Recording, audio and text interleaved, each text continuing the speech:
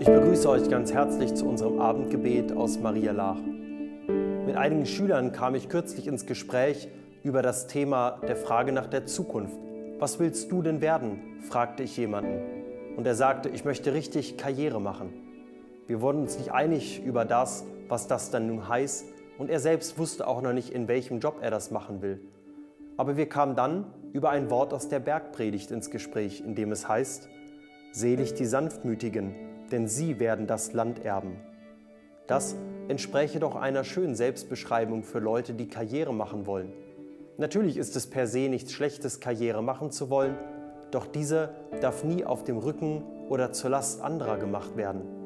Will ich jemand werden, der mit Ellbogen, mit ausgestreckten Ellbogen durchs Leben geht? Oder möchte ich auch andere mit ins Boot holen, Menschen im Blick haben und mit ihnen zusammen auf dem Weg sein?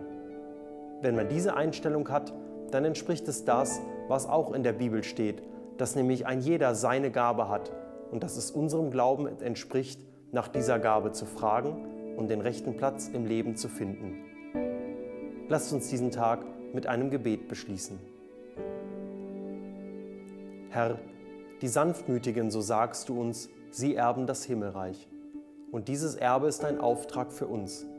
Hilf uns nicht mit ausgestreckten Ellbogen durchs Leben zu gehen, sondern da, wo wir sind, wo wir wirken können, die Menschen anzunehmen, Sanftmut zu leben und das zu tun, was du uns lehrst zu tun.